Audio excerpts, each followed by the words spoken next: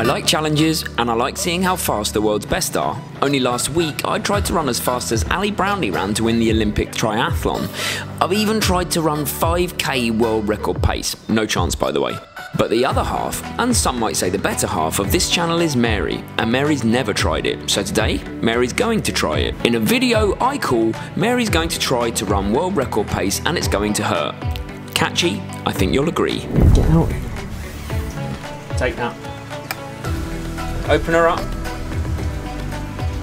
Press play. Recognised her this year. She's come here as BBC Sports Personality of the Year, and everybody recognised her. She'll really appreciate this. Paula Radcliffe starting up. What's on the laptop? It's Paula Radcliffe running a marathon, the world record marathon that I she was going to say in 2003. Yeah. Now, watching that video, do you have any concept of how hard or fast she's running? I mean, I know she's running hard, but I don't know exactly how fast. Do you want a concept of how fast she's running?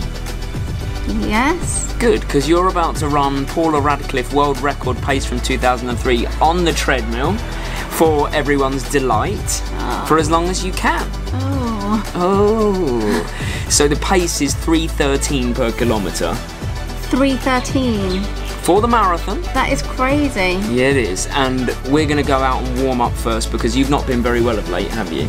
No. But you're up for this. I'm up for it. Okay, I'll well, do my best. we're going to go out and warm up and we're going to talk about how you might be able to achieve it and what that actually equates to in miles or speed or whatever. However you want to slice it, it's fast. It's going to be fun though. For me watching. Oh dear. Wish me luck.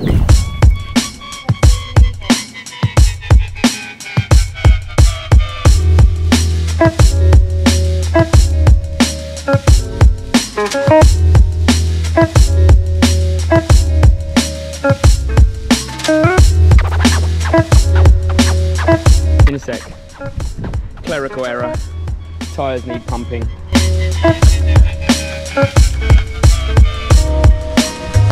Good start. Let's go and catch Mary. Found her. Hello, Mary. Hi. How are you? Great, thanks. It's weird that I'm asking you the question to camera instead of asking you. Yeah. Yeah, feeling quite good running wise. Okay, so talking about this pace we've got to run 313 for a kilometre which um, I think is 18.7 kilometres per hour. Um, Oh what comparison do you have any comparisons to that speed that you've run before? Have you been able to run faster than 313 at all? Yes. On short intervals where I've been absolutely going all, all, all out, my watch has registered going under three minutes, but literally for like a couple of seconds. So I know I can hit that speed, but whether I can sustain it for a whole kilometre, I can't imagine. it's going to be high turnover it's going to be high cadence just getting those legs turning over with the treadmill running under you I think that's the key to these yeah in my head i'm just gonna like shut everything else out and just focus on moving my legs and arms. Yeah Let's clear something up right now that you may have been thinking. We know that this is no longer world record pace because Brigid Kosgei ran a 214 in 2019, but Paula held this record for over 16 years, which is ridiculously long in world athletics terms, and she's also a national icon, one of our heroes, and arguably the best distance runner GB has ever produced. She's a legend, so we want to try and run her pace. So just while I'm catching up to Mary, it is worth saying here that I think that Mary always underestimates her ability to run. And I wouldn't be surprised if she managed the entire kilometre running at Paula Radcliffe's pace. She is she's a very tenacious competitor. She's very, very driven. And I think we all might be surprised at what she can do because she has proven she's got high leg turnover. She used to be a 200 metre runner at school. She was a very good sprinter, so it's in there. Let's see if it can come out on the treadmill. Legs feel like they're loosening up. yeah Okay. yeah just trying to keep my heart rate down because i think on the back of being a bit ill just checking i'm okay Yeah. Phase one done. done Phase two in there.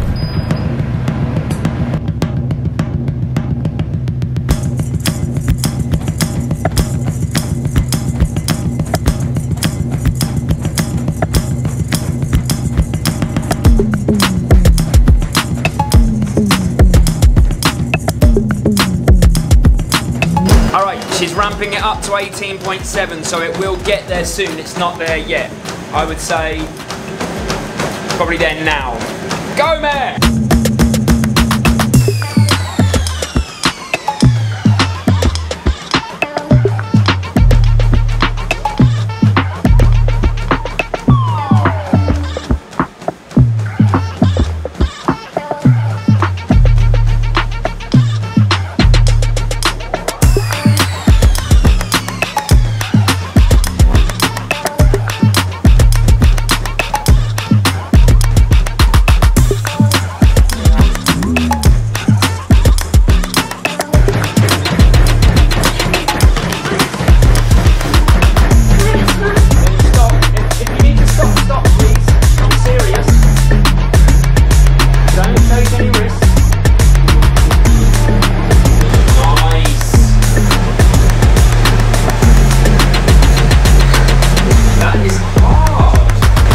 Do what's safe.